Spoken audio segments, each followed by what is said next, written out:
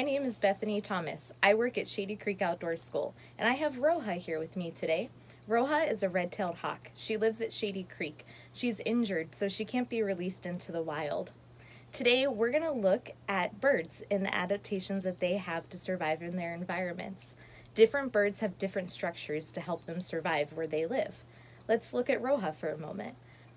Roja is a red-tailed hawk. They're carnivores, which means they only eat meat. If you take a closer look at Roja's beak and at her feet, those structures help her catch prey in the wild. Let's take a look at some other birds and the structures they have to help them survive. Hello, my name is Shannon and I also work at Shady Creek Outdoor School. Today we're going to be looking at some of the birds that we see around Shady Creek. Uh, we put out bird feeders, but if you want to make observations of birds, please don't feel like you also have to have bird seed or bird feeders. Um, it can help, but the best thing about birding is it's something that can be done anywhere. When you observe birds, there's some questions that you can ask that will help guide your observations. What do you notice about the bird?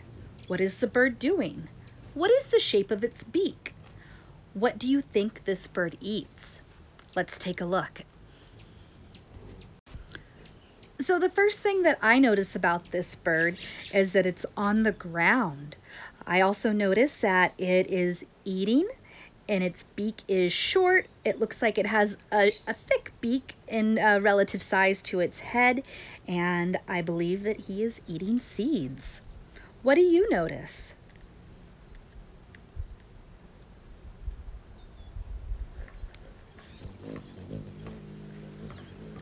What do you notice about this bird? We've slowed it down so that you can get a better look.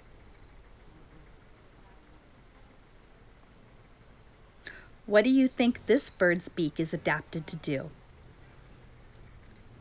How does the structure of its beak help it to survive?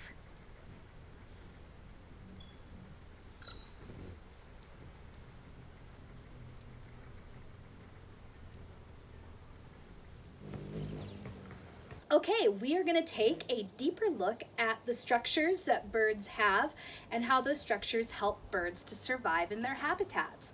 I have my assistants here with me today. These are my sons. Isaiah. And I'm Anthony. And they're going to help me out by, uh, we're going to focus on one structure at a time and how it helps birds survive. And we're going to do that by turning Anthony here into a bird. Um, so let's start off by talking about, um, well, what's one structure that all birds have? Feet. All birds have feet, yeah. Um, what are some different types of things that birds can do with their feet? Swim. Yeah. Run. Neat. Climb. And catch prey. Yeah, so they it all depends on what they're doing and how they survive, and that's the type of foot that they'll have. So um, let's go ahead. Um, Anthony, do you like to swim?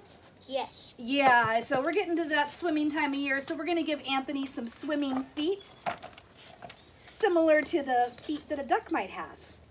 What's another structure that all birds have? A tail. Yeah, birds have tail feathers. How did that? How does that help them to survive? Well, balance. Helps them to For them? balance. They Yeah. steer while they're flying. Like Yeah, they rudder? need it when they Yeah. fly through the air, absolutely. So let's go ahead and give Anthony uh, a tail, some tail feathers. Awesome.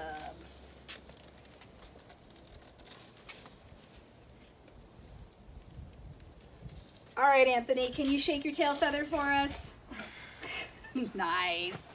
What is another structure that birds have? feathers. Feathers. Yeah, all birds have feathers. How does that structure help them to survive? Warmth. Keeps them warm And to lift off the ground when they're getting ready to fly. when they fly, absolutely. So do we have an example of a feather over there? Yes, sir. All right, we're just gonna put one feather in. We'll tuck it in right there to demonstrate that all birds have feathers. What's another structure that birds have? Wings. Yeah, all birds have wings. How does that help them to survive? To fly. Fly. Helps them to Um, fly? And it, well, for penguins, it helps them to swim. Yeah, because not all birds fly. Excellent job. Let's go ahead and give Anthony here some wings. Wonderful, wonderful. Oh, there we go. So you just put your There you go. Excellent. And one for this side. Give us a flap, Anthony. Yeah, all birds have wings. Don't Wonderful. What is another structure that all birds have? Eyes. Yeah, and some birds have big eyes, some smaller eyes. It all depends on where they live and what they eat. So let's go ahead and put some eyes on our Anthony bird. All right, there we go. And what's one more structure that all birds have? Beaks. All birds have beaks. Absolutely. What are some different things that different birds eat? Uh, seeds. Yeah, some birds eat seeds, so they have to have a beak that's adapted for cracking open seeds. What's another Fish. thing? Some birds eat fish, so they might have a long beak like a spear. What other things do birds eat? Uh, they eat their prey. Meat. Some birds catch and eat eat prey. Um, they eat animals, so they need to have a beak that's adapted for tearing things. So let's go ahead. Oh, you have another one? Um, and they suck nectar. Yeah, some birds are adapted for drinking nectar. So let's go ahead and give Anthony a beak. Wonderful.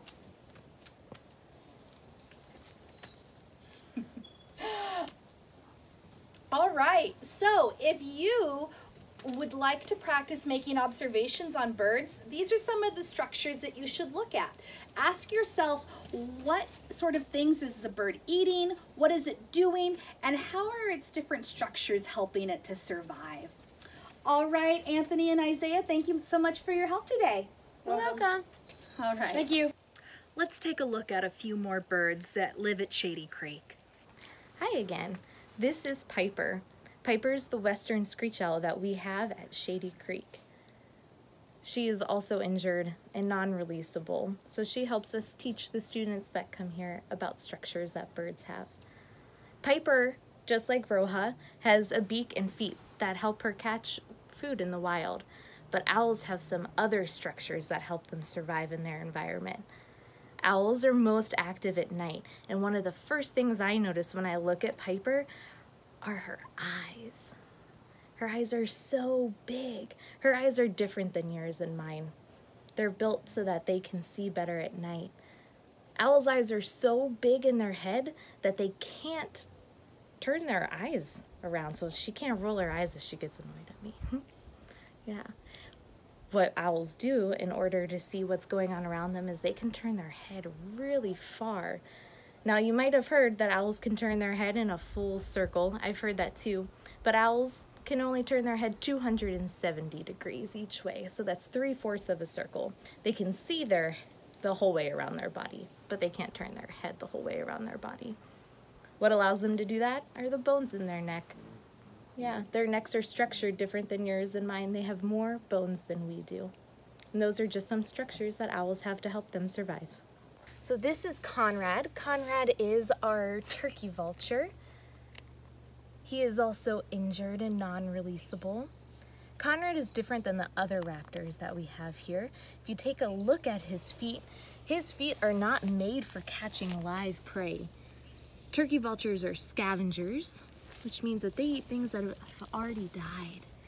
But his feet are very good for walking around just like a turkey. So Conrad also has wings that are different than the other birds we have. Turkey vulture wings are structured differently.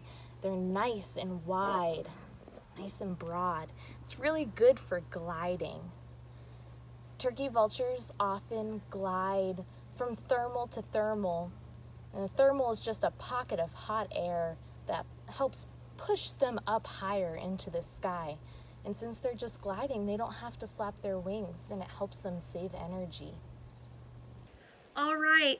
Well, you might have noticed today that we didn't spend a lot of time trying to identify or name the birds that we were observing.